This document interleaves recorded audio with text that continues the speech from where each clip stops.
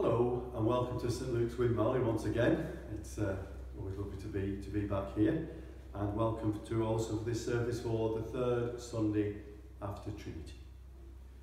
The Lord be with you, and also with you. You are worthy of our thanks and praise, Lord God of truth, for by the breath of your mouth you have spoken your word, and all things have come into being. You fashioned us in your image, and placed us in the garden of your delight. Though we chose the path of rebellion, you would not abandon your own. Again and again, you drew us into your covenant of grace. You gave your people the law and taught us by your prophets to look for your reign of justice, mercy, and peace. As we watch for the signs of your kingdom on earth, we echo the song of the angels in heaven, evermore praising you and saying, Holy, holy, holy Lord, God of power and might. Heaven and earth are full of your glory. Hosanna in the highest. Blessed is he who comes in the name of the Lord. Hosanna in the highest. The collect for the third Sunday after Trinity. Almighty God, you have broken the tyranny of sin and have sent the Spirit of your Son into our hearts, whereby we call you Father.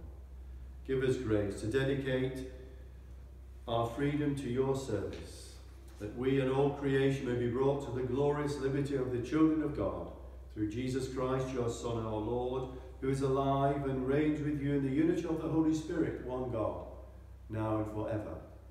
Amen. Alleluia, alleluia. We do not live by bread alone, but by every word that proceeds from the mouth of God. Alleluia. The Lord be with you, and also with you. Hear the gospel of our Lord Jesus Christ according to Mark chapter 4 verses 35 to 41. Glory to you, O Lord. On that day when evening had come, Jesus said to them, Let us go across to the other side. And leaving the crowd behind, they took with him, he took them with, they took him with them in the boat, just as he was. Other boats were with him. A great windstorm arose and the waves beat into the boat, so that the boat was already being swamped. But he was in the stern, asleep on the cushion. And they woke him up and said to him, Teacher, do you not care that we are, that we are perishing?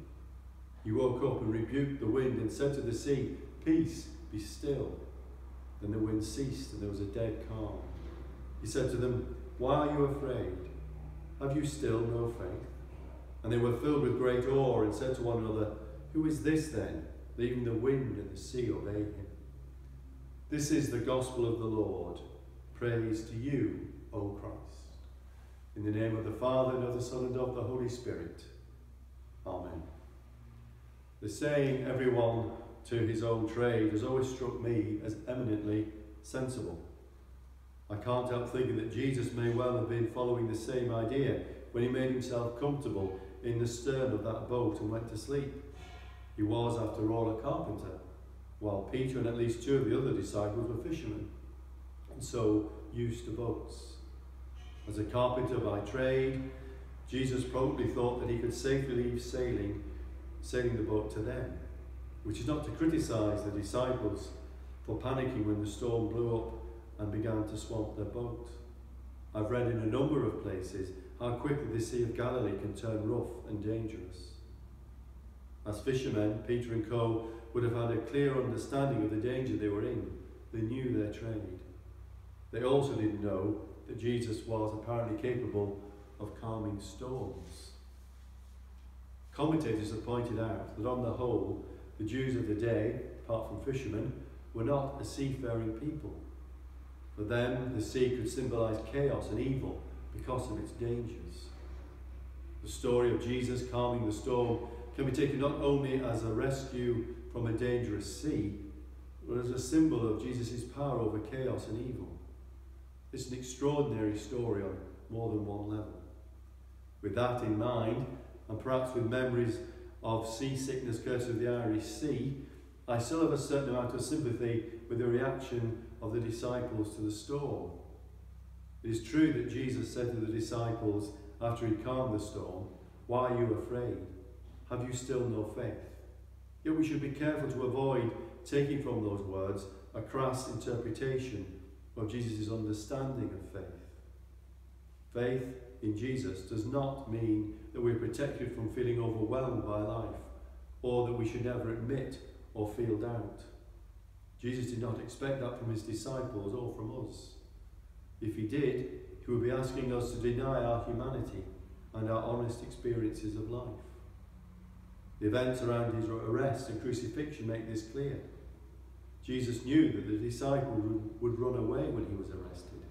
He didn't blame them for that or hold it against them. In fact, he tried to prepare them for their fear and dismay in order to help them cope with it. Then, in the depth of his agony on the cross, he himself cried, My God, my God, why have you forsaken me? In this way, in this way we know that faith is not a moral or spiritual test, and that Jesus did not intend it to be so. Faith is the bond that God holds us in, not what we hold God in. When Jesus asked the disciples on that boat, Why are you afraid? Have you still no faith? He held them in his love, understanding and sharing in their humanity and vulnerability. Why are you afraid? Have you still no faith? May sound like an accusation, but they are words of reassurance, as was his cry from the cross My God, my God, why have you forsaken me? would prove and the resurrection would show. God does not abandon us if we are brought to despair. God's love for us does not depend on us. Amen. And now let us pray for the church and for the world and give thanks for God's goodness. Lord, we pray for your church that we may be sensitive in our care for the vulnerable and for those whose faith is tested. We pray for wisdom and humility in the face of life's hard challenges. And as we face further extensions of COVID restrictions on our worship and our daily lives, we pray for patience and grace. Lord, in your mercy, hear our prayer. We pray for your world and our leaders as we face the challenges of climate change and pollution. We thank you for the beauty of the world and pray that we will be ever mindful of its fragility. At this time, we pray for the people of Iran as they prepare to vote in their presidential elections. We pray for freedom and integrity in all elections and for those who live in countries where those values are not respected. Lord, in your mercy, hear our prayer. In our own land and community, we pray for all people whose lives and livelihoods have been affected by the extension of the COVID restrictions. And say now a prayer from the diocese. Keep us, good Lord, under the shadow of your mercy in this time of uncertainty and distress. Sustain and support the anxious and fearful, and lift up all those who are brought low, that we may rejoice in your comfort, knowing that nothing can separate us from your love. In Christ Jesus our Lord. Lord, in your mercy, hear our prayer. And we pray for all who are ill or troubled in body, mind, or spirit. May they know your hope and comfort in their troubles. Lord, in your mercy, hear our prayer. We pray for those who have died, giving thanks for their lives among us. May they rest in peace and rise in glory. Lord, in your mercy, hear our prayer. And as our Saviour has taught us, so we pray. Our Father, who art in heaven, hallowed be thy name. Thy kingdom come, thy will be done, on earth as it is in heaven. Give us this day our daily bread, and forgive us our trespasses, as we forgive those who trespass against us.